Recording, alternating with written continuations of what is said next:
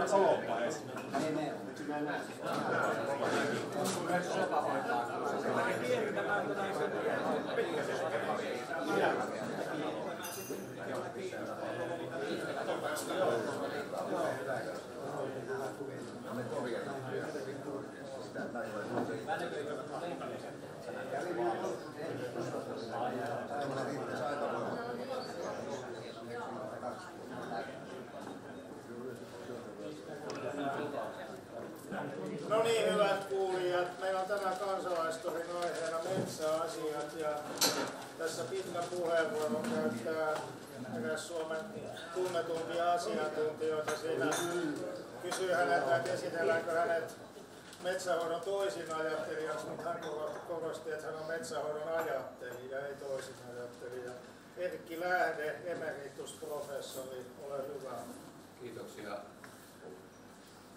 Selityksenä tälle epiteetille on se, kun hyvä ystäväni Lauri Vaara haastatteli toimittaja tuolla Kemiäjällä joskus varmaan 30 vuotta sitten. Ja toimittaja kysyi, että mitä hän tykkää siitä, kun hänet on nimitetty metsätalouden toismenettelijäksi. Niin Lauri Vaara mutristeli tapansa mukaisesti naamaansa ja sanoi, että en minä nyt kyllä sitä toismenettelystä tiedä, mutta sillä tavalla minä eroan metsäammattilaisista, että minä yleensä ajattelen.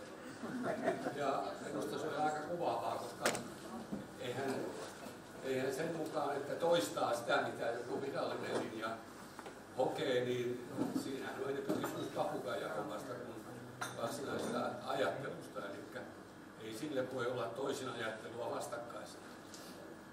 Niin hyvät ihmiset, että tarkoitus on puhua tästä metsän jatkuvasta kasvatuksesta ja, ja nyt on harmillista, että siellä perimmäiset on vähän kaukana, mutta nostakaa tuolit vähän lähemmäksi. Kuulette, että ääneni ei kanna kovin kauas, kun vanha ja rapistunut kun alkaa olla. Metsähän aito metsä sellainen, jollaiseksi luonto on tarkoittanut ja kasvattaa metsät kaikkialla maailmassa, on se lähtökohta, että se puusto, joka siellä metsässä on, niin se on vaihtelevan kokoista, eri ikäistä ja useimmiten monia puulajeja samanaikaisesti kasvaa. Ja pensaslajeja ja kaikkia muita eliöitä muunlaisista sieniin ja niin edelleen. Se on, se on aito metsä sellainen. Ihminen, kun ei pysty matkimaan eikä taitavasti noudattamaan tällaista aidon metsän rakennetta ja kuitenkin haluaa sitä hyödyntää ja käyttää, niin se yrittää tehdä sitä helpommin käsiteltävän ja helpommin ymmärrettävän. Eli rakentaa siitä tämmöistä yksinkertaista samankokoista puupeltoa. Mutta sellaistahan ei aitometsä ole. Tässä on eräs kuva aidosta männiköstä, joka osoittaa, että mäntymetsä, vaikka se olisi vaikka lähes puhdasta mäntyä, niin se voi kasvaa erinomaisen hyvin sellaisena, että siellä on pieniä puita eniten ja keskikokoisia vähän vähemmän ja, ja isoja vielä vähemmän. Se on se sama ekosysteemirakenne kaikissa maailman ekosysteemissä, vaikkapa kalojen ekosysteemissä vedessä, niin sellainen ekosysteemi, joka pyrkii säilyttämään olemassaolonsa, niin ikään kuin ihmisenkin systeemissä, niin pieniä pitää, eli nuoria pitää olla eniten, keskikaisia ja keski-ikäisiä vähän vähemmän ja vanhoja vielä vähemmän. Ja niitä dementoituneita tietysti mielellään vielä vähemmän. Mutta niitähän tämä nykymaailma tuottaa. Minä annan sinulle aina tämmöisen pikku läpsäytyksen, niin se voi vaihtaa kuvaa siihen, kun muuten mä joutuisin omaan selkät. Tällaista monimuotoista metsää kuvastaa hyvin. Siellä on lehtipuuta ja havupuuta ja ja sitten kun sellaista hakataan, niin se on jatkuvan kasvatuksen hakkuun jälkeen sellaista, että se on edelleen metsää. Tietysti sitä on hyödynnetty, mutta kuitenkin se, siinä on vielä edelleen hyvä metsän ainekset. Tämä on Itä-Suomen yliopiston metsäsuunnittelun professori Timo Pukkalan ottama kuva, niin kuin se edellinenkin oli ja hän hauskasti blogissaan kirjoitti tästä, että, että tällaisessa jatkuvan kasvatuksen metsässä viheltelee pyyn lisäksi metsänomistaja ja jokamies. Ja se minusta on hyvin koottu yhteen se, että tällaisessa metsässä, joka säilyttää tämän metsän peruselementin, eli puustoisuuden, niin se on samalla hyödyllinen sekä metsänomistajalle että joka miehelle, että sille pyylle ja monelle muulle metsolle ja teerelle ja sienille ja marjoille ja niin Lähtökohtahan on se, että metsien rakenne lähinnä juuri tämä puiden koko ja sen vaihtelu eli rutuluku Ja puulla ei koostumus, ne luovat perustan sille, että miten sitä metsää voi hyödyntää taloudellisesti, ekologisesti, sosiaalisesti ja kulttuurisesti. Ja ne ovat kaikki tärkeitä tekijöitä, joten pitäisi kaikkien toimia samanaikaisesti. Talouden ja kulttuurin ja sosiaalisuuden, koska metsä palvelee kaikkia näitä tarpeita varten. Ja tärkein tutkimuksella ratkaistavissa oleva ongelma on näiden merkitysten juuri yhteensovittaminen ja optimoiminen, eli puun tuotoksen määrä, laatu ja taloudellisuus sekä tietysti sen metsän säilyminen monimuotoisena vaihtelevana ja niin, että sitä voi hyödyntää vaikka porotalouteen, mustikapoimintaan tai sienien poimintaan tai liikuntaan, ulkoiluun, niin edelleen, niin edelleen. Monikäyttöjähän monenlaisia. Nykyisin jo hyväksytään terveyden vaaliminenkin, siitä on jo maailmalla, erityisesti Japanissa selviä tutkimuksia, että kun viedään niitä Tokion paskaan tukehtumissa olevia ihmisiä metsään virkistymään, niin niiden terveys kohenee huomattavasti. Eikä tarvitse siellä kauan metsässä, aidossa metsässä ollakaan. Puupelto on sitten vähän eri asia, se ei juuri metsäelementtiä täytä. Siinä on tämmöinen yksi monimuotoinen metsä männystä, puhutaan, että mänty ei voi olla eri rakenteinen, niin kyllä se vaan voi hyvin olla tämä kutsunnusta ja reikahakkuuksi tehdään vähän tilaa niin, että sinne tulee enemmän mahdollisuus uudistua uutta mäntyä. Kasvu ja laatu ovat sellaisia avaintekijöitä, kun, kun ajatellaan esimerkiksi juuri puun tuottamista taloudellisessa mielessä, rahallisessa mielessä. Tämä tasaikäismetsätalous, eli tämä puupeltosysteemi, jossa lähdetään nollasta avohakkuun jälkeen liikkeelle, ja kasvatetaan sitten niitä puita samankokoisina ja sitten tulee taas se päätehakkuuvaihe, jolloin taas pannaan kaikki nurin ja aloitetaan taas uudelleen alusta. Se on sitä puupeltometsätaloutta, joka on malli otettu tuolta maatalouden puolelta vaikkapa kauan kasvatuksesta tai naatin kasvatuksesta. Kasvatuksessa jatkuva kasvatus on se avainkysymys, koska siinä tavoitellaan hidasta alkukehitystä Eli ne taimet pienenä ovat isojen puiden alla tai varjossa tai siimeksessä sen verran, että eivät ne ryöhäily kasvamaan tarpeettoman nopeasti ja teet tätä kautta paksua lustoa, hötöpuuta, paksua oksaa, kelvotonta hyväksi rakennuspuuksi. Ja 90-luvulta lähtien uskottiin ja opetettiin kaikilla opetuksen tasoilla. Minä opettelin että on 60-luvun alussa, että Suomessa vain männyn sellulla tulisi olemaan kaupallista tulevaisuutta ja niin mentiin kovaa vauhtia päin mäntyä. Ja mennään edelleenkin ja nyt kun on sitten tulossa näitä kilpailevia mahtavia uusia tehdashankkeita, niin sehän perustuu pitkälle juuri tähän hötöpuuhun, tähän avohakkuiden jälkeen nopeasti kasvavaan räkäpuuhun, josta ei oikeastaan muuta saakkaan kuin sellua, huonoa tietysti selluakin, mutta kuitenkin sellua, rakennuspuutahan sitä ei juuri taho saada millään ainakaan kelvollista.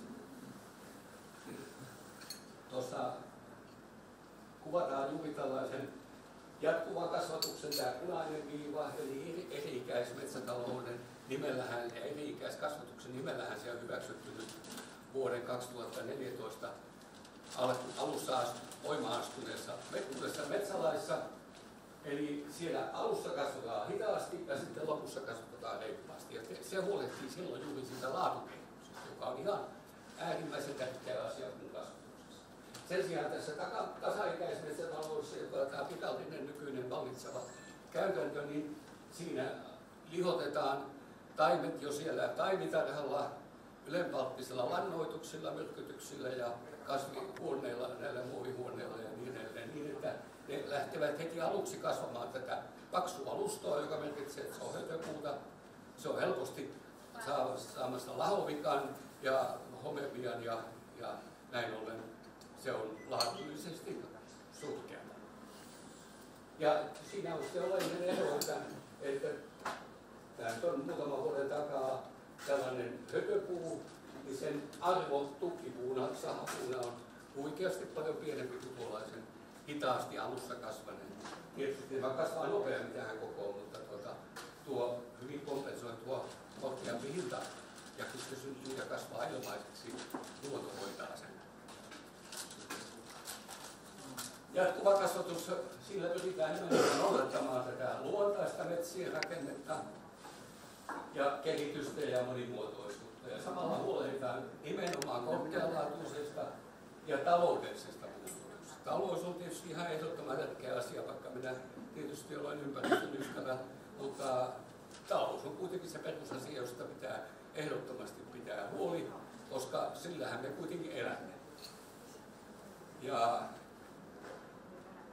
osoituksena tästä metsätaloudessakin ja muutenkin nimessä vallinneiden johtajien kelvottomasta ammattitaidosta on se, että ennen EU-aikaahan aina noin kymmenen vuoden välein tehtiin devalvaatio, jolla aina hoidettiin ne johtajien tekemät kuprut ja, ja taas lähdettiin alkuun. Nyt kun ei sitä voi tehdä EU-säädösten mukaan, niin sen takia ollaan pirullisissa taloudellisissa ongelmissa, mutta tämä sama ikiliikkuja pyörisi edelleenkin.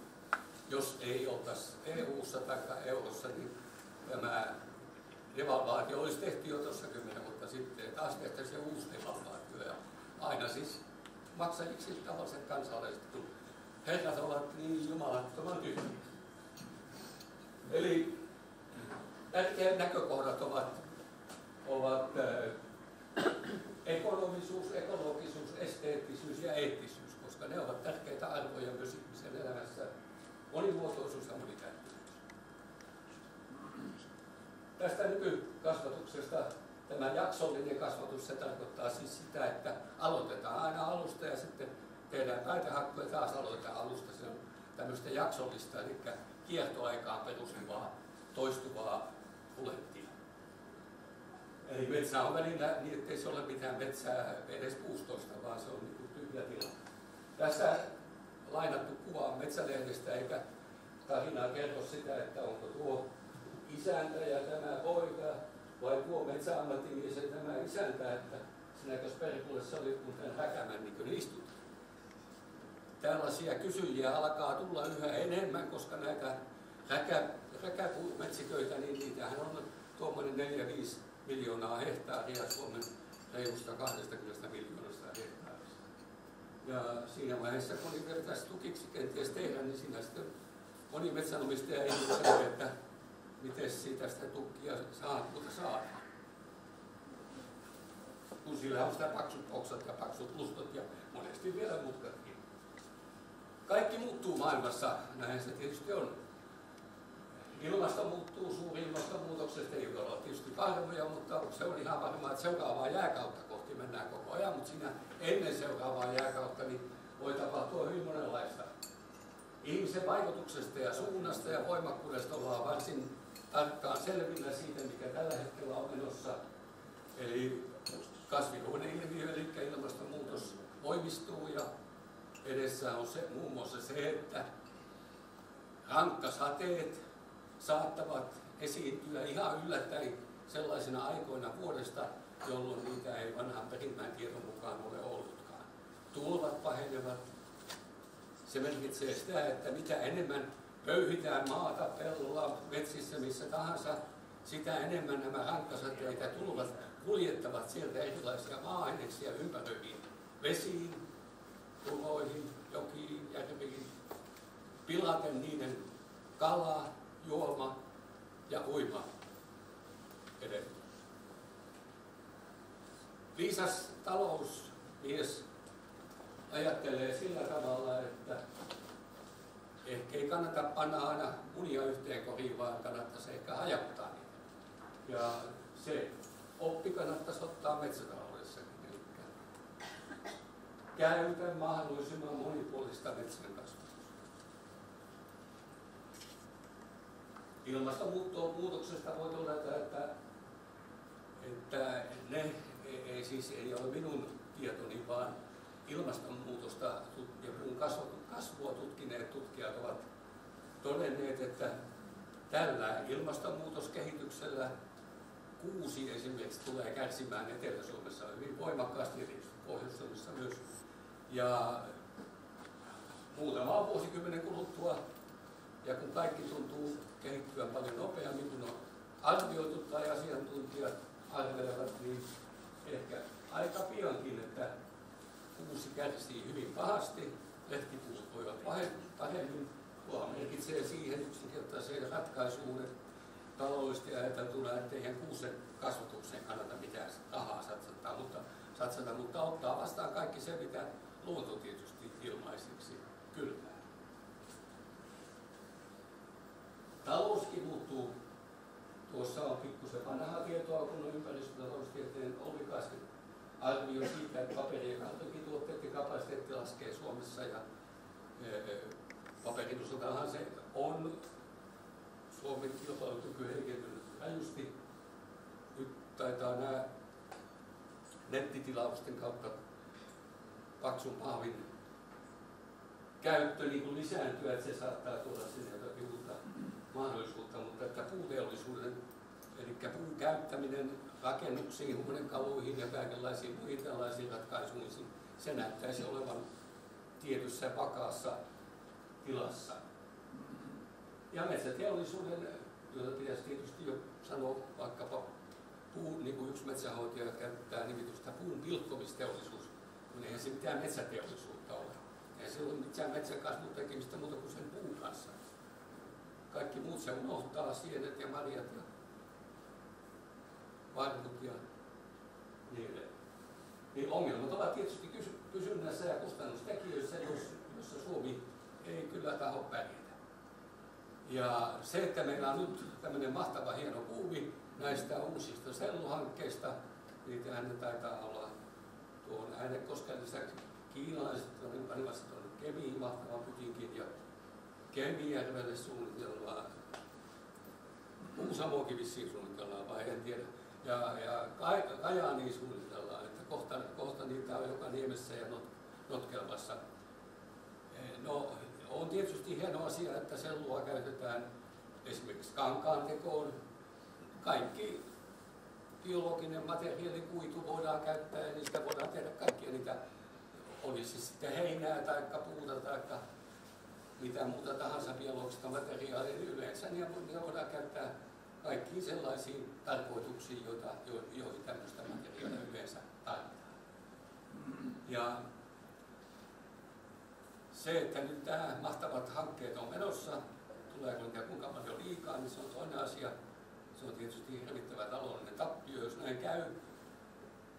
Ja vaikka siinä Suomi olisi hetken aikaa täällä eturintamassa, niin se kauan kestä, kun ne oppii tuolla, tuolla tuota, valtavan väestöjen ja nopeakasvuisten puitten ja halvan työvoiman ja halvan puuhinnan ja piittaamattoman ympäristön kannalta, niin ne tekevät samanlaista kuin täällä ja paljon halvemmalla. Mitäs me sitten tehdään niiden tehtaiden kanssa? No, ehkä me pärjää. Vaan uusi devalvaatio, sehän on se, joka on. No, arvot ja asenteetkin muuttuvat onneksi.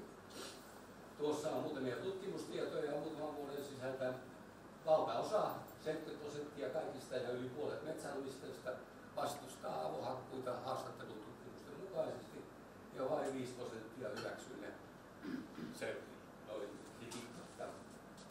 Sitten tuossa on tutkittu, että niiden suhtautuvat jatkuvaan kasvatuksen ajatukseen jo ennen kuin se virallisesti metsälaissa tuli niin 12 prosenttia jo silloin halusi siirtyä heti jatkuvaan kasvatukseen, 15 prosenttia osassa metsiä ja 25 prosenttia saattaisi kokeilla, 28 prosenttia haluaa ottaa selvää menetelmästä, 10 prosenttia ei ole mielipidettä, aina niitä on, ja, ja vain 10 prosenttia ei tule käyttämään etukäteispäätöksellä jatkuvaa kasvatusta. Tähän on osoitus siitä, että kun 60 vuotta on jauhettu tätä jatkuvaa kasvatusta vastaan, niin haastattelun tulos on kuitenkin tuommoinen, niin kannattaisi mennä opiskelemaan näiden, näiden metsäammattimiesten sitä, että miten voisi onnistua manipuloimaan ihmisiä vähän paremmin. tämä huono sen suhteen, mitä propagandaa on harjoitettu virallisesti. No perinteisesti metsänomistajat ha- harsivat metsiä. Se oli se kirosana metsäammattikunnan suussa. Se tarkoitti sitä, että metsänomistajat ajatteli järkevästi taloudellisesti ja poimivat niitä isoja puista, puita metsästä, josta sai paremman hinnan tukkipuuta. Totta kai jokainen järkevä ihminen tekee tietysti niin. En voi kuvitella mitään muuta. Se on vähän niin kuin sama kuin kalastaa ja, ja tota, mieluummin otetaan niitä isoja puita ja ne pienet sintit annetaan mennä takaisin sinne kasvamaan. Mene tuonne ja kasva vähän lisää. Tai hapujen pyytäminen saa Ja metsänomistajat hakkasivat niitä puita, joiden niin sanottu arvokasvukynnys oli sivuutettu. Eli niiden arvo ei enää sen koon vuoksi puutiota kohti kasvanut. Sitten kun tuli tämä arvokasvukynnys, niin silloinhan tämä kuitupuu hyppää tukkipuuhun, jolloin sen hinta helposti pari kertaisi. No, sellu ja paperiteollisuus kuitenkin kasvoivat voimakkaasti ja niille piti saada halpaa raaka-ainetta. Se ylitti selvästi sahateollisuuden tarpeen. Ja metsäammattimiehet kokoontuvat, johtavat metsäammattimiehet kokoustivat ja päättivät, että muutetaan tämä metsänhoito, metsänkäsittelysysteemi päinvastaiseksi. Eli markkinoille tulee heti ja tulevaisuudessa yhä enemmän kuitupuun kokoista ja siksi halpaa raaka-ainetta, josta metsänomistajalle ei ollut mitään perustelua vaatia tukkipuun hintaa.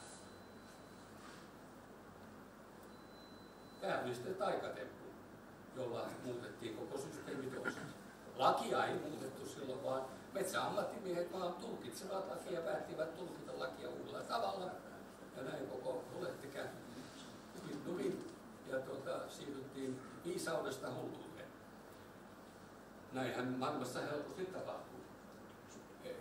No olisiko näin tarvinnut tehdä sen takia, että että tuota, teollisuus olisi tämä kuituteollisuus saanut riittävästi raaka-ainetta, koska se ei halunnut tai ei kyennyt maksamaan siitä isokokoisesta puusta tukkipuun hintaa, jos se käytti sen kuituksi. No totta kai, jos markkinatalous toimi silloin ja toimii vieläkin, niin se olisi vaan merkinnyt sitä, että se mikä ei olisi mennyt puuteollisuuden käyttöön, isokokoinen puu, huonolaatuinen, niin se olisi mennyt selluksi, kuiduksi. Se olisi merkinnyt sitä, että Suomen metsien puiden laatu olisi entisestään huikeasti kohonnut. Ja tänä päivänä meillä huojuusmetsissä huikeata korkeata laatua eikä räkäpuita juuri. Tiedettä manipuloitiin, keksittiin tämmöinen harsinta julkilausuma siihen kuusi johtavaa tiedemistä tai johtavaa metsäammattimiestä, siinä oli teollisuudenkin edustajat. Ne tekivät tämmöisen harsinta- ja julkilausuman 1948, ja siihen todella lakia muuttamatta niin muutettiin käytäntö. Ja sitten uskoteltiin koko kansalle ja ennen kaikkea opiskeleville metsäammattilaisille, että julkilausuma perustuisi tutkimustietoon. Julistettiin, että pitkäaikainen kokemus, jota ei ollut yhtään, pitkäaikainen kokemus ja kaikki tutkimustieto, jota ei ollut yhtään, niin se olisi osoittanut, että tämä harsinta oli täysin väärä menetelmä metsän kasvatuksen kannalta. Mutta ei sellaisia kokeita ole edes perustettu, jolla oli verrattu erilaisia metsän käsittelyvaihtoehtoja. Me perustimme vasta ensimmäiset 80-luvulla. Siitä tuli tämmöinen metsätalouden uskon tunnustus, ja jotta kunnostautui metsäammattialalla, niin se piti tietysti hokea tätä samaa dogmia, mantraa osoittaakseen olevansa metsäammattimiehenä tai naisena pätevä ja saadakseen parempia fiksoja ja parempaa asemaa. Ja tilanne jatkuu käytännössä aika pitkälti samanlaisena. Kuitenkin on tapahtunut pieniä, pieniä muutoksia, niin kuin jo kerroin tässä metsälaissakin jo sallitaan, jos metsänomistaja osaa vaatia ja uskaltaa olla aktiivinen, niin hän pystyy saamaan vaihtoehdoksi sellaisia, jossa metsä pyritään pitämään jatkuvasti puustoisena, eli siis tämmöisen jatkuvan kasvatuksen vaihtoehdon. Sehän valitettavasti tarkoittaa sitä, että kun metsäammattikunta on 60 vuotta hokenut tätä, tätä harsintajulkilausuman vastaista mantraa, niin ei sieltä taho oikein ammattiapua saada siihen.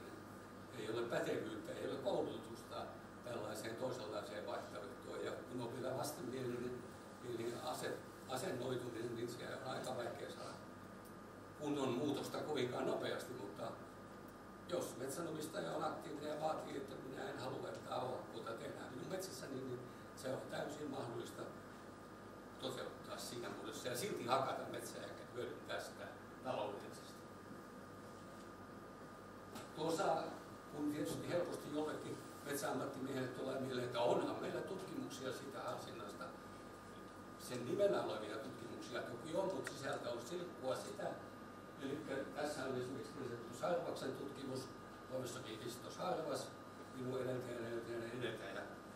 Ja tuota, hän teki 40-luvun aikana tämmöisen harsintatutkimuksen, jossa hän valikoitsi Etelä-Suomesta ja myös Pohjois-Suomesta erillisen aineiston, valitsi tämmöisiä pahiten hävitettyjä, met, harsinnalla hävitettyiksi nimitettyjä metsiä ja tutki sitten niissä, että miten ne oli kasvaneet ja, ja miten ne olivat uudistuneet.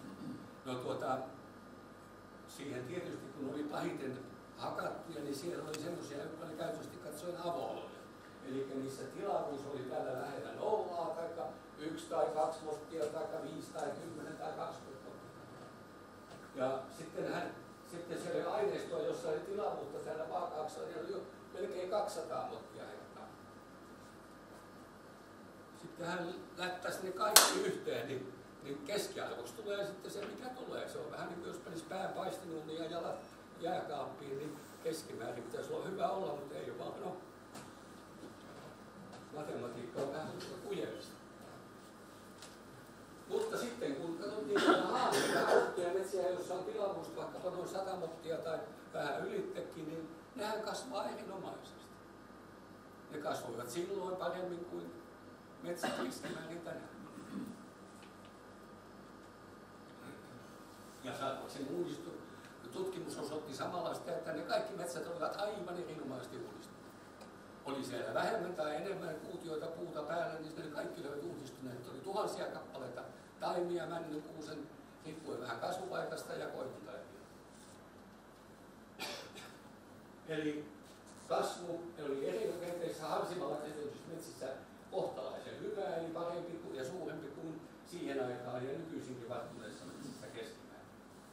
Ja kun hakkuu tehtiin nykyisin tiedetyllä optimaalisella tasolla jatkuvaa kasvatusta ajatellen, niin eli tilavuus noin 100-150 kuutiota, niin kasvu oli aivan erinomaista. Ja uudistunut Eli sen Harvaksen väitöskirjoitus olisi pitänyt tietysti hylätä ja vaatia häntä korjaamaan siltä tavalla, että hän katsoo näitä tilavuusfaktioita erillisenä, jotta sitten tulee joku järkeikä, mikä silisalaatti siitä tutkimuksesta. Metsänomistajat olivat tietysti haluttomia tämmöiseen hulluuteen, että kapsitaan niitä pieniä puita sieltä alta ja alaharmennuksella ja, ja avohakkuulla, jos tulee paljon niitä pientä puita ja jonkin verran isoja Eihän se ole heidän taloutensa kannalta järkevää, täysin typerää touhua. Mutta heidät pakotettiin siihen sitten tällä yhtäkkiä muutetulla metsälakitempulla. Ja tuota, jos eivät suostuneet, niin sitten niin käräjille ja, ja metsä rauhoitettiin kymmeneksi vuodeksi, että sai sillä hakata, kun sai täältä metsäpoliisilta luvan siitä, että hakkaa tietysti sillä tavalla metsäpoliisi käsi. 1900 loppupuoliskolla rauhoitettiin yksityismetsiä noin 16 000 hehtaaria vuodessa. Moni metsäammattimies, joka oli oikein himo, himo rauhoittaja, niin tota, ne kehuskelivat pahimmat keskenään siitä, että kumpi kilvoittelivat, kumpi, kumpi rauhoittaa enemmän. Tuo oli ihan huippuja tuolla Pohjanmaalla. Kerrotaan, että tämä me, mm, Tapionkin johtajana ollut Juhani Liitalo oli saavutuksesta sen enempää, mutta näin kerrotaan. Sitten oli tietysti paljon metsänomistajia, jotka tuota, alistuivat kuriin, kun ei sitten oikein kannattanut muutakaan tehdä.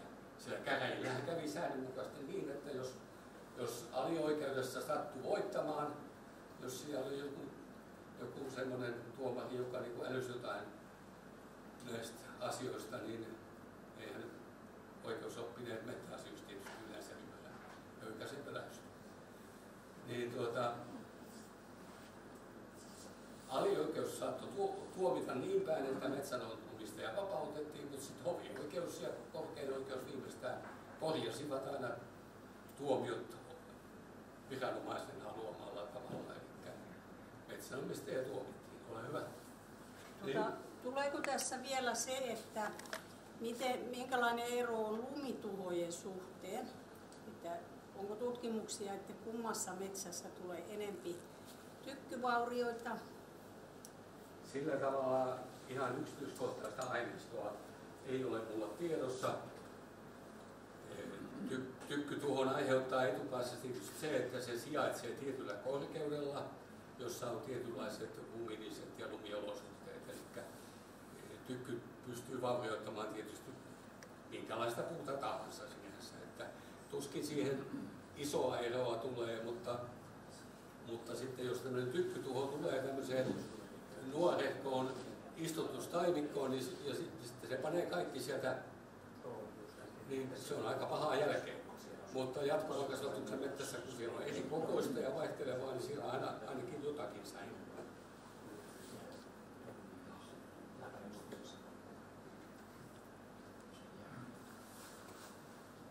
Ja helposti puhutaan siitä, että tämä jatkuva kasvatus olisi sellaista, että mentäisiin ympäri metsää ja poimittaisiin yksittäisiä puita. No sehän on tietysti ihan se pöläystä semmoinen. Sitä on tietysti järkevällä tavalla niin, että otetaan tietynlainen metsäkuvio, jossa katsotaan, että nyt tässä on riittävästi hakkuukypsää puuta, jota sitten hyödynnetään ja muu metsä jätetään seuraaviin hakkuukertoihin. Ja kaikki sellaiset menetelmät, joissa ei tehdä avointa kaikki sellaiset menetelmät, joissa tehdään, ei tehdä avohakkuuta, ovat jatkuvaa kasvatusta. Koska jatkuvan kasvatuksen lähtökohta on siis se, että metsä säilytetään jatkuvasti puustoisena elinpeitteisenä. Siihen mahtuu monenlaisia hakkuutapoja siihen jatkuvaan kasvatukseen tällä perusmääritelmällä, koska jatkuva kasvatus on vastakkainen sen jaksolliselle kasvatukselle, jossa siis aina lähdettiin nollasta liikkeelle ja ylipäätään hakkuja taas lähdettiin ikään kuin kaulan kasvattajat. Eli kaksi jaksoiset metsät, jossa voidaan tehdä ylispuiden poistoa, ei tehdä raivausta, eli raivata niitä pieniä pois Yläharvennukset, jossa ei myöskään raivata sitä aikaisemmin, koska se on se uuden puuston siemen. Luotainen uudistaminen myös suojeluspuja sinne hakkuulla tai pienä hakkuulla, joka nähtiin jo aikaisemmin jossa ei myöskään tehdä tietenkään tätä kaivausta, joka on ääretöntä tulossa. Tuossa on elikäistä metsää Pohjois-Pohjanmaalla. Vaan. Siinä on sama hakattu jatkuvalla kasvatuksella. Metsän monimuotoisuuden suhteen nämä metsän käsittelyt ovat tietysti hyvin erilaisia. Käsittelemätön metsä säilyttää tietysti monimuotoisuutensa parhaiten avohakkuu, siellä ei paljon monimuotoisuutta ole. Kannoissa kuitenkin on jotakin aineksia, ettei se ihan nolla tarvitse olla. Siemenpuuhakkuu ja suojeluspuuhakkuu tätä nykykäytännön avohakkuu niillä, niillä jättöpuilla, raiskiopuilla, niin tuota, ei nyt sitten paljon monimuotoisuutta tuota. Sen sijaan sitten aina mitä puustoisemmaksi metsä jätetään, niin sitä paremmin se täyttää nämä monimuotoisuuden vaatimukset. Siinä on sekametsän kuusialikasista siinä tällaista koivikossa kasvavaa muusiaalikasvusta. Avainkysymys tähän taloudellisessa mielessä on se, että, että jos tässä on arvokasvu ja tässä ollaan hetkessä nyt, niin tämmöinen paksu punainen puu on juuri silloin optimaalista hakata. Se on alittanut tämän arvokasvukynnyksen sillä tavalla, että sen hinta ei enää siitä kasva, se on silloin kypsä hakattavaksi. Kaikki vihreät puut hakataan liian aikaisesti ja kaikki punaiset puut hakataan vähän liian myöhään. Se ei ole siis, avohakku ei ole optimaalista metsänkäsittelyä, vaan se on vähän sinne päin.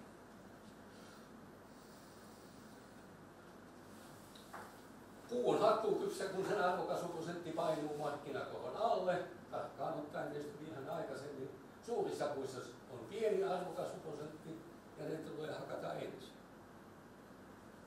Jos metsässä on koko vaihtelua, niin kuin normaalissa luonnonmetsässä on tietysti puupellossa, ei paljon sitä välttämättä ole, niin puu kannattaa kasvaa, poistaa vähittäin, tietysti kuitenkin riittävästi kerralla, jotta sitten saa taloudellisesti kannattavan järkevän hakkuutuloksen. Se on noin jostain 70 motista reiluun 100 mottiin kerralla, niin se on yleensä riittävä ja hyvä talouden tulos, kun se pääosin on tukki. Avohakkuussa poistetaan optimihetkeä aiemmin paljon puita ja sitten myös myöhemmin. Syntyy aina vääjäämättä. Totta kai kovin kustannuksen otettava huomioon. Toisaalta pienten puiden jättäminen kasvamaan alentaa korjuukustannuksia. Kaikenensa.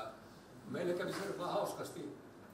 Meillä on laajat kenttäkokeet ympäri Suomea, mutta karikoit kenttäkoetta oli tuolla Pohjois-Hämeessä, jossa tehtiin, ne on metsähallituksen hallitsemalla mailla, ja siellä tehtiin vaihtelevia hakkuita tässä muutama vuosi sitten. Viimeisen kerran niitä oli tehty jo aikaisemminkin useamman kerran, koska niitä oli seurattu sitä aina 1940-luvulta asti, tosi emme me, mutta meidän edeltäjät, me seurasimme niitä 80-luvulta asti, ettei meidän hiukkavia hakkuita useamman kerran, niin sinne tuli sitten metsähallituksen urakkamiehenä motokuski, nuorehko motokuski, Oriveneltä, joka ei ollut koskaan jatkuvaa kasvatusta tietenkään työssään tehnyt ja vähän ihmetteli, että mitä tämä tämmöinen on. Ja no sitten hän, ne oli ne koeruutut, tämmöisiä 50 kertaa 50 metriä, ne tämmöisiä kunnon pieniä metsiköitä. Ja hän niitä sitten teki siinä tunnin pari ja sitten mentiin kysymään häneltä, että no mitä hän tuumaa näistä hakkuista, että onko tämä jatkuva kasvatus kauhean vaikeaa poimia näitä isompia puita pois sieltä ja jättää pienet kasvamaan ja kuinka helppoa tuo avohakku on, niin hänpä sanoi yllättäen, että hänellä on paljon edullisempaa tämä jatkuva kasvatus kuin avohakku. Ja katsottu ihmeessä, mitä se nyt puhuu. Hän selitti sen hyvin yksinkertaisesti, että hän saa tilin sen mukaan, kun on kuutioita, ei sen mukaan, että kun on runkoja kappaleita hehtaarilla. Ja kun hän teki tätä meidän jatkuvan kasvatuksen mallin mukaisesti, niin hän sai hyvin hyvän kuutiotuotoksen. Tosin hän joutui tietysti varomaan niitä niitä pienempiä puita, ettei ne vaurioidu, mutta kun hän meni tekemään avohakkuta, niin hän, hän sai kaiken nurin, mutta kun siellä oli niitä 5 senttisiä ja 10 senttisiä ja 15 senttisiä puita myös runsaasti mukana, niin, niin määrään tuli kauheasti, mutta tiliä tuli vähän.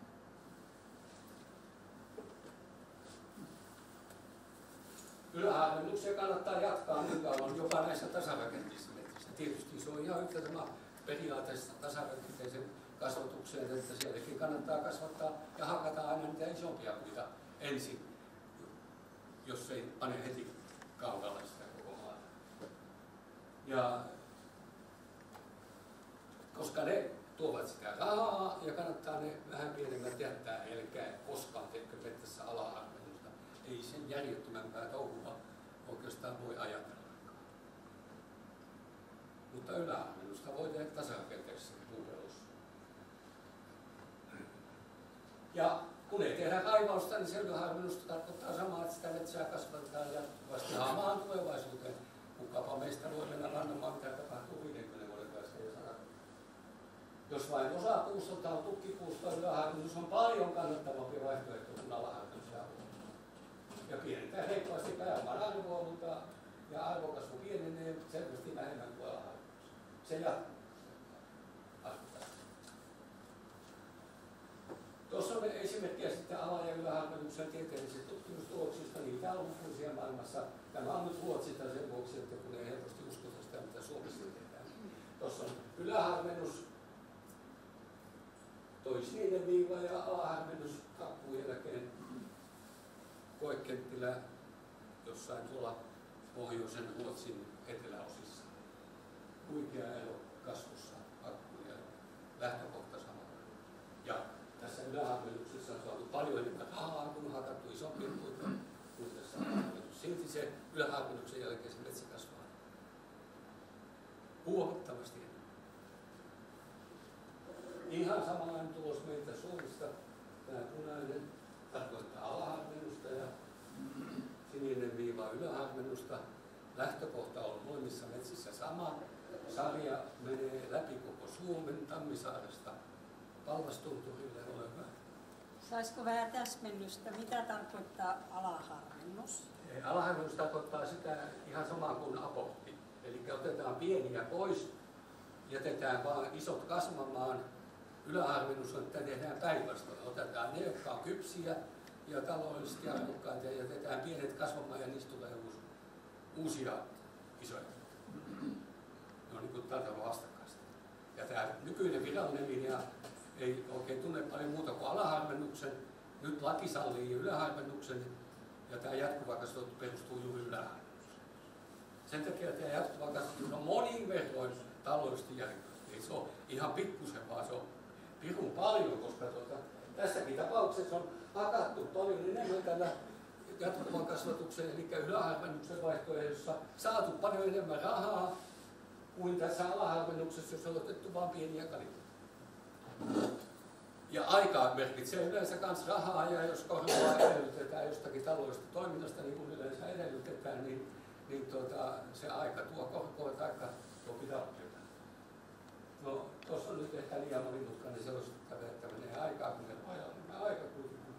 Ja sekin on sellainen juttu, mutta siinä vaan kuvataan sitä, että mitä, mistä se johtuu tämä kasvuero yläharvennuksen ja alaharvennuksen jälkeen. Monista tutkimuksista tiedetään, että jos tehdään tätä alaharvennusta, eli otetaan niitä pieniä puita sieltä alta pois, niiden jäljelle jäävien puiden kasvu ei siitä hetkaa. Ei ne oikein ole moksiskaan sitä, että otettiin sinne pienemmät. Jotakin pientä liikannusta voi tapahtua. Mutta jos tehdäänkin toisinpäin, eli otetaan sieltä ylemmästä päästä niitä isompia puita pois, niin se merkitsee, että ne alla olevat osittain parjossa olevat puut vapautuvat ja lähtevät nopeasti lisäämään kasvua. Tuota, onko, onko tutkimuksia siitä, kuinka paljon nämä pienet puut tuota, särkyy, otetaan yläharvennuksen öö, katkeilee? Niin on, on mittauksia siitä, se on yleensä sillä tavalla, jos on sulkea motokuski, niin sille kannattaa antaa heti lähtöpapsi. Jos ei se osaa hakata metsää kun se joutuu tekemään sitä alaharvennustakin mentässä, niin kyllähän se täytyy osata ottaa sieltä toimien metsästä puita. Jos sitten käy niin, että joku puu vahingossa vaurioituu, kun aina inhimillisessä toiminnassa voi niin käydä, niin sehän kannattaa heti hakata pois. Se on sitten. Eli se pitää se metsän, metsäkoneen käyttäjä ohjeistaa sillä tavalla, että jos se vahingossa vaurioittaa puun, joka on tarkoitus jättää, niin korjatkoon sen pois ja jättäkö jonkun toisen tilalle esimerkiksi. Niin, tässä on sitten tätä taloudellista puolta tarkasteltu. Nykyarvo 1-5 prosentin korolla täällä 1, 2, 3 ja 5 prosenttia. Ja tämä viljelymetsätalous on tämä ensimmäinen pylväs näillä korkoprosenteilla. Tuolla se menee jo melkein nollaan ja tuolla se menee jo pakkasen puolella, kun pitäisi saada 5 prosentin korko rahaa. No tämä tasaikäinen, että tehtäisiin järkevällä tavalla tätä tasaikäiskasvatusta, ettei tehtäisi viljelyä, käytettäisiin yläharvennusta, niin se on sitten alkaa mitä vähempää, enemmän korkoa laitetaan, niin se tulee yhä paremmaksi kuin tämä viljelystä. Jos otetaan jatkuva kasvatus, niin se on näillä kaikilla korkotasolla ylivoimaisesti taloudellisesti edullista. No nyt kun metsäammattikunta aina hokee, että se jatkuva kasvatus on niin vaarallista, että se vikuttaa puitakin ja kaikkea muuta tämmöistä hömpöä, niin, niin tuota, me tehtiin niin, että me pudotettiin siitä 30 prosenttia näitä vaurioiden mukaan pois, että katsotaan, miten se sitten pärjää näiden nykykäytännöllä kanssa. Varsin hyvin pärjää moninkertaisesti paremman taloudellisen tuloksen antaa kuin nämä nykykäytännön vaihtoehdot. Sitten kun otetaan puu, hiili ja mustikka, mustikkakin on pirun tärkeä metsässä esimerkiksi ennen kaikkea metsäkanalintujen kannalta ja eliöiden kannalta. Uukkelikin hyödyttää, karhukin hyödyttää mustikkaa. Ja elätetään niitä taimaalaisiksi sillä välillä. Ja taimaalaisiakin hyödyttää, joo, ja, ja hiili on tietysti tärkeää hiilen sidonta, koska kasvikoni on omaa vauhtia voimistunnassa. Tässä on pantu nyt sitten vierekkäin jatkuva kasvatus tämä pylväs tasarakenteinen, optimaalinen tasarakenteinen nykykäytäntöä parannettuna sillä tavalla, että tehdään yläharvennusta sen alaharvennusta sijasta, eikä tehdä viljelyä luontainen uudistaminen. Ja sitten tämä nykykäytäntö, niin se menee täällä sitten jo kolmen prosentin korolla tämä nykykäytäntö menee pakkasen puolelle. Ei, ei kukaan järkevää tee sitä. Lopettaa tietysti huomenna jo, että jos te olette niin johtavassa asemassa, niin sanokaa nyt jo viimeistään sitten huomenna aamulla pomoille, takana työntekijöille, että lopettakaa sitten se hulluus. Tieteellinen tutkimus on moneen kertaan ja monin kymmeniin julkaisuun sinne osoittanut, että kun nyt tuli tehtyä vahingossa tämmöistä tyhjyyttä, niin lopetetaan se nyt. Sitähän kerrotaan sitten juttua aikoinaan suuresta metsähommosta, joka meni apulaisten kanssa aina metsään ja sitten joka aamu se otti taskusta tämmöisen lapun ja luki sen ja pisti takaisin ja apulaista ajatteli, että on siinä ihmeellisen taikasanat, että tähän siinä on. Ja sitten kun pomo meni saunaan, niin pojat juoksivat kiireesti katsomaan sen puseron taskusta, että mitä siellä sitten oikein luki, niin siellä luki, että mänty pitkät neuloset ja kuusi lyhyet Tuolla on sitten maisemaindeksi, koska maisemaindeksiäkin on mittailtu ihmisten mielipiteiden mukaan tietysti, ei sillä paljon muuta indeksiä ole. Niin tämä jatkuva kasvatus pysyy suhteellisen vakaana. Maiseman kannalta tämä nykykäytäntö on siellä päätehakkuuvaiheessa. Tietysti se kaunis pilaristo, tasakokoisia kuusia tai mäntyjä tai koivuja, niin näyttää muutaman ajan varsin hyvältä, mutta sitten kun se on kaikki nurin, niin se ei näytä enää. Tuossa on sitten monimuotoisuus, ihan sama tilanne, että jatkuvassa kasvatuksessa metsän monimuotoisuusarvo säilyy suhteellisen tasaisena. Tietysti jokaisen hakkuun jälkeen aina vähän laskee, mutta palaa sitten takaisin. Sen sijaan tämä nykykäytäntö vain siinä vaiheessa, kun siellä on runsaasti isoa puuta, niin silloin se jotenkin pärjää tällä vaihtoehdolla. Yksinkertainen ohje. Kaikki hyvät ohjeet on yksinkertaisia. Eikä mitään monimutkaisuutta juuri kannata harjoittaa tässä maailmassa. Hakkaa tukkipuita, kasvata kuitupuista ja sitä uusia tukkipuita ja ole laiska ja viisas ja vähän siinä voi olla ainakin. Hakkukierto on viidestä 50 vuoteen riippuen kasvupaikasta ja sitä kautta kasvun nopeudesta. Optimaalinen jäämäkuumusto Etelä-Suomessa jatkuvassa kasvatuksessa reilu 10 pohjapintaa, eli reilu 10 100 mottia Eli runkoja tuommoinen pienistä 1,3 metristä isoihin puihin, niin joku va- vajaan 2000 kappaleen hehtaarilla. Tämmöisenä karkeana ohjeena No paljon puhutaan siitä, että no, mutta metsäthän kasvaa paremmin kuin koskaan ja tämä metsäammattikunta on sitten ollut erinomainen metsien kasvattaja. No, se on tietysti höykösen pöläystä valetta, ei sillä metsäammattimiehen ole siihen muuta osuutta kuin se, että, että se on tehty tätä helvetillistä soiden ojitusta kauheasti. Kymmenestä miljoonasta suohehtaarista on oitettu tuommoinen kuutisen miljoonaa hehtaaria ja sitten on ostettu paljon puuta itänaapurista etu, etupäässä, kun on täällä ensin raiskattu koivut nuri, niin sitten on ostettu sieltä kauheasti koivua tänne, kun se on kuitenkin kauhean hyvää kuitumateriaalia havupuun seasta. Ja sitten tämä ilmastonmuutos, joka on tietysti, jossa metsäammattikuntakin on tietysti mukana, eli me kaikki ihmiset. Eli kasvikausi, pituus on pidentynyt. Täälläkin, jos te olette seuranneet, niin vuosi toisensa jälkeen vaihtelu huomioon ottaen, niin koko ajan ikään kuin siirrytään vähän etelämmäksi. Ja, ja kasvukauden lämpötila kohoaa koko ajan. Ne on niitä kasvihuoneilmiöitä, eli ilmastonmuutoksen tyypillisiä oireita. No se tietysti merkitsee puun, yksittäistä puiden kasvun lisääntymistä, samoin kuin se jatkuva typen kylväminen ilmaan energiatuotannossa liikenteessä, joka on merkitsee tiettyyn vaiheeseen asti puun kasvun lisääntymistä, koska se on ikään kuin pöhöttävä lannoite. Mutta jossain vaiheessa tulee tietysti vastaan se, että ei enää, ei enää. Ja sitten sit se asiat saattaa kääntyä tämä päinvastoin. Tässä on vaan Lauri Vaaralla täältä Naamamutristilta tuota, hyödynnetty tämmöinen taulukko, kun on puhuttu, että tämä avohakkuut ja viljelytalous olisi jotenkin nostanut metsien kasvua, niin ei se nyt valitettavasti vielä ole tehnyt. Tässä on viljelymetsien keskimääräinen kasvu vuonna 2007, se oli 2,4 ja metsien keskimääräinen kasvu oli 4,3. Ei siihen mennessä vielä ollut viljelymetsätalous mitään lisännyt ja kestää vielä aika kauan.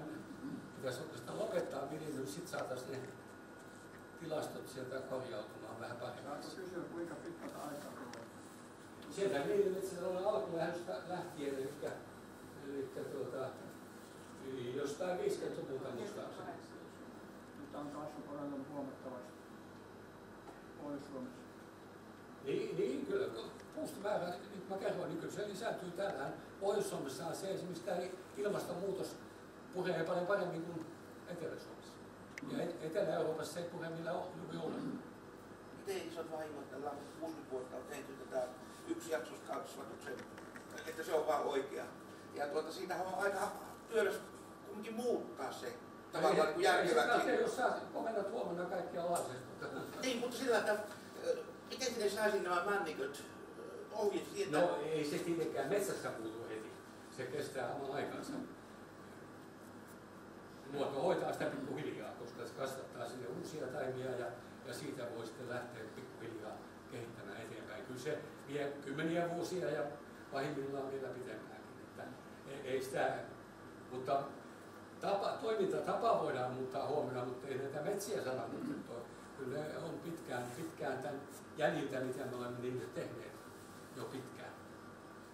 Mä kysyin, niin. osana aukeista, siellä on saatu hyviä tuloksia aikaan. Aivan erinomaisia tuloksia. Tuota, niitä on parhaimmillaan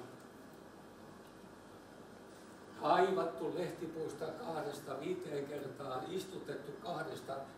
Kuusamossa kuulemma oli tehty kuuskin istutusta samalle alalle ja, ja tuota, muokattu pari kolmeen kertaan. Ja sitten kun lasketaan se, että paljonko se on maksanut, laskepa piruutta siitä, että paljonko se on maksanut.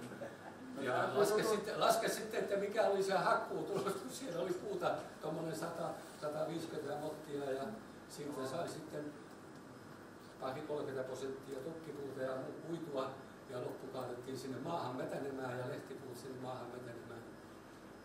Si- siitä on tullut perseelleen kymppitonneja hehtaarille ja lisää tulee koko ajan, kun korko hakkaa tietysti, kun pitäisi taloudesta toiminnasta saada jonkunlainen talouden tuloskin. Mutta että kun siellä on puuta, niin metsäammattimies sanoi, että tämä tulos on erinomainen. Kannattaisi miettiä, että millä hinnalla se tulos on saatu ja mitä siitä voidaan hyödyntää. Niin sitten se on se oikea tulos. Tulos on ja erinomainen käyttötulos, no siihen tosiaan loistavaa männikkää. Joo, siellä on sellaista männikköä. Kyllä minä olen tietänyt. Ja uudestaan pohditut alueet on hyvin pieniä siihen verrattuna, mitä siinä tehdään. Pieniä? Pysyä siinäkin vähän asiassa. Mikä oli pieniä siellä? Uudestaan pohditut alueet. No ke- keskimäärin niitä on uudistettu Pohjois-Suomen metsiä noin 2-3 kertaa. Minä puhun osana auki. No ne on niitä osana samalla. Tämähän on tämä vaan nimike osana, ei sillä mitään se kummempaa merkitystä ole. Eikö ihan... metsähallitus perustele sillä, siellä osana niitä avohakkuita, että saadaan monivuotoisuutta tuota tavallaan, kun niitä räkämänniköitä joudutaan tiettyjä alueita hakkaamaan pois. Niin tämähän on vähän niin kuin, vai onko niitä sittenkin, että ne haluakin jatkuvan kasvatuksen metsiä niistä? Parhaimmillaan, kun on moneen kertaan istutettu samaan niin niistä on tullut erinkäistä Kun joka istutuskerralta on jäänyt tuommoinen parikymmentä 30 prosenttia taimista eloon, niin, niin sitten niistä on tullut, kun on parhaimmillaan istutettu kuusi kertaa sama paikka, mutta kahta ja kolme kertaa on istutettu usein, niin, niin tota, niistä on saatu vähän eri-ikäistä erikoisuutta. Selityksiähän on tietysti monta tässä. Kun ei, se on niin kuin kuin aina sanonta oli, että kyllä selityksiä löytyy sanoa enemmän kuin ei kuollutkaan. Johtopäätös on nyt yksinkertaisesti se, että kohkokannan suodatessa jatkuva kasvatus tulee yhä kannattavammaksi. Tuolla toivoo, että tilanne muuttuu, kun tehdään lisäselvityksiä, vaikka kasvutasolla oli ja perällistä niin ei se mistään. Viljelymetsätalo on huono kannattavuuden syyt on investoinnin ja tulojen pitkä aikaväli investoinnin suuruus suhteessa tuottoihin. Ja kannattavuutta voidaan parantaa pienentämällä kustannuksia. Niin se yleensä taloustoiminnassa. Käyttämällä luontaista uudistamista käsittelemällä metsää vähemmän ja käsittelemällä sitä ylävää. Avohakkuun maanmuokkaus lisäävät maan hiilen vapautumista ja kohdalla lämpötila kiihdyttää sitä orgaanisen aineksen hajoamista. Tämä ojitus, vaikka se on selvästi lisännyt kymmenillä prosenteilla puun kasvua valtakunnassa, niin sillä on ollut se seuraus, että sillä on pantu liikkeelle ne orgaaniset ainekset sieltä ojituksesta, jotka ovat kulkeutuneet vesistöihin, pilanneet niiden jalokalojen elämistä ja juomavesiä ja uimavesiä ja kaikkea hulluita, että tuolta Etelä-Suomesta ne ojitukset ovat valuttaneet sitä turvemujua aina Suomenlahtia ja Itämerta myös. Nimittäin osa siitä turvemujusta kulkeutuu siihen lähimpään vesistöön ja sitten samentaa sen veden. Osa kulkeutuu on kolloidisessa muodossa ja se kulkeutuu pitkiä matkoja ja vasta sitten kun se kohtaa sellaisen veden, joka on riittävän hapanta, eli siis suolaista, niin sitten se saostuu sinne semmoiseksi mustaksi muiduksi. Niin kuin sanotaan nyt metsäaurauksen tai kun maata oikein myllätään, niin sehän tietenkin saa niitä, mitä siinä maassa on varastoitu, niitä alkuaineita, niin äkkiä virtaamaan jonnekin. Ja tietenkin puutkin ottaa silloin alussa sitä kovasti. Ja no se selittää vähän sitä kasvua. Kyllä, kyllä se on just sitä, niin. sitä pöhökasvua kyllä. No miten sinä sitä ajattelet, kun tämä, tätä yksikerroskasvatusta ruvetaankin tekemään tällä lailla, niin monta niin kuin, sukupolvea tavallaan, niin missä vaiheessa se loppuu se, joko se loppuu toisessa vai kolmannessa tavallaan seuraavalta sukupolvelta, jos tehtäisiin yksi jaksoskasvatusta vaan, niin No, me olemme toistaneet samalla paikoilla hakkuuta jo neljästi jatkoa kasvattamaan kymmenen vuoden sisällä. Ja koko ajan kasvu paranee. No, mutta näitä, näitä, näitä yksijaksoisia, jotka ne... kun vapautetaan tavallaan, niin pyrskäytetään ne ravintoaineet pois tavallaan siitä maalta. Sitten kun tätä toistuvaa huuhtoutumista tapahtuu riittävän kauan, niin, niin se sitoutuu osa sitä siihen pintakasvillisuuteen ja osa kulkeutuu sinne ympäristöön osa menee puihin ja Joo. sitten se tulee takaisin. Mutta se loppuu jossain vaiheessa, niin luontohan ei ole tehnyt. Ei, ei se ikuisesti riitä. Ja mikä harmillisinta, niin näillä aurausalueilla, kun suomalaisista metsämaista moreenimaita, tämmöisiä lajittumattomia eh, moreenimaita ovat eh, noin 80 prosenttia. Eli kaikkialla selvä enemmistö.